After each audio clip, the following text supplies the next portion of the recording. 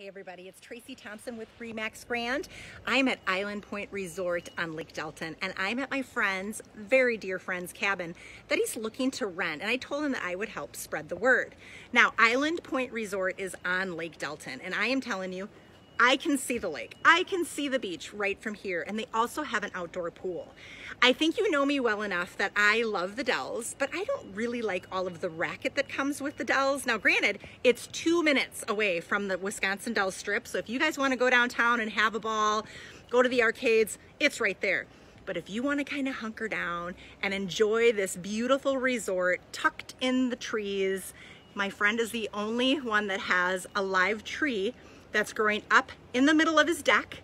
He has a grill you can use. He's got some cute little furniture out here so you can just sip on some lemonade and enjoy the beautiful view and the peace and serenity that Island Point has to offer. His rate is very, very fair and I wanna take you inside. So come on in. I'm going to kick my shoes off and I'm gonna show you around. So this little honey has a full-size kitchen so you can save money because you can get groceries and you can use the microwave, full-size fridge, we've got a stove, and we have an oven, okay?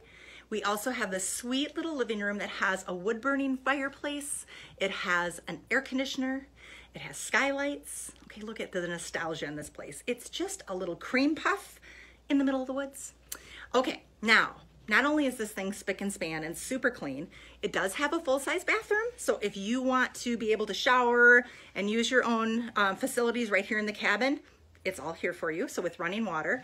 And then I love his bedding. He's got super comfy Eddie Bauer, look at that, bedding. So when you're ready to crawl in for the night, he's got two queen size beds in here, dressers. So you can just literally move in, unpack your things and start enjoying lake life. So again, if you have questions, if you're interested, or if you know anybody that wants to rent someplace adorable, super charming, again, with tons of nostalgia, let me know and I will put you in touch with my friend. See you later.